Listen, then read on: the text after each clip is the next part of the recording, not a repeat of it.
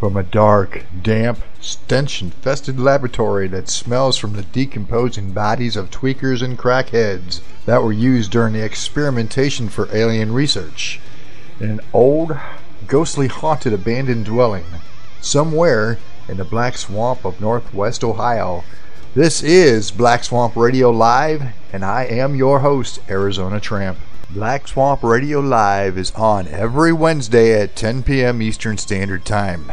We will creep you out. We will make your skin crawl and we will make you laugh all on the same show.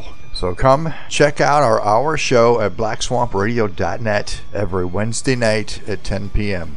You will be glad you did. We will be happy to see you there.